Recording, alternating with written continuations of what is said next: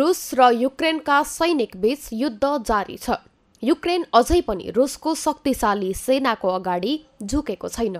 युद्धको कठिन परिस्थितिका बीचमा युक्रेनका राष्ट्रपति भोलोडिमिर जेलेनस्कीका स्वयं युद्धको मोर्चामा पुगेका छन्। जेलेनस्कीले रुसी सेनाले आक्रमण गरेको क्षेत्रको भ्रमण गरिरहेको दावी गरिएको छ। शनिबार एक भिडियो सन्देशमा जेलेनस्कीले सैनिकहरूलाई प्रोत्साहन दिँदै आफूहरू राजधानी किबबाट भागेको रुसी मिडियाको दावीलाई खारेज गरे। युक्रेनका राष्ट्रपति जेलेनस्कीले आफू र आफ्नो देश रुसको आक्रमकता विरुद्ध सहयोगीहरूको सहयोगमा लडिरहेको बताएका छन्।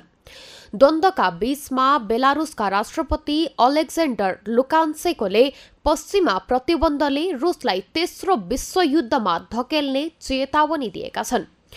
यस्तै अमेरिकी राष्ट्रपति जो बाइडेनले युक्रेनमाथि रुसले लगाएको प्रतिबन्धको एकमात्र विकल्प तेस्रो विश्वयुद्धबाट सुरु हुने बताएका छन्। यसैबीच अमेरिकाले युक्रेनका लागि चौवन्न मिलियन डलरको राहत प्याकेज जारी गरेको छ।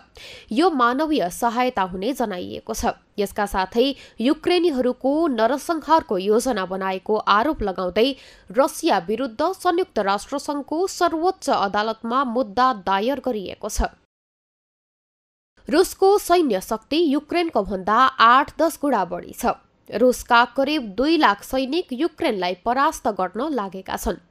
यसका लागि रुसले वायुसेना सेना मार्फत युक्रेनमा घेराबन्दी गरेको छ। सम्पूर्ण हवाई क्षेत्र घेरिएको छ। यस लडाईँमा युरोपेली देशहरू र अमेरिका र त्यसको नेतृत्वमा रहेको नाटो संगठनले युक्रेनलाई सैन्य सहायता दिने निर्णय गरेका छैनन्। हालसम्म रुसी आक्रमणमा परि युक्रेनका भन्दा बढी बालबालिका सहित तीन सय बावन्न बढीको मृत्यु भएको युक्रेनले दावी गरेको छ। यसबाहेक एक हजार छ सय चौरासी भन्दा बढी घाइते भएको संयुक्त राष्ट्रसङ्घले जनाएको छ।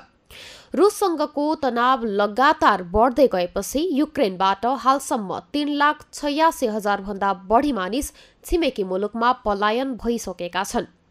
युरोपेली सङ्घले युक्रेनी शरणार्थीहरूलाई तीन वर्षका लागि शरण दिने सहमति गरेको छ। यस्तै रुसमा युक्रेनमा भएको आक्रमणको विरोधमा प्रदर्शन गरिरहेका तीन हजार भन्दा बढी व्यक्तिलाई हिरासतमा लिइएको छ।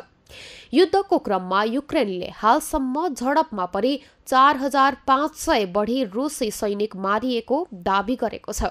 साथै करिब एक सय पचास ट्याङ्क सत्ताइस विमान र छब्बिस हेलिकप्टर ध्वस्त पारेको जनाएको छ। सगरमाथा टेलिभिजनका लागि अपेक्षा ढुङ्गानाको रिपोर्ट।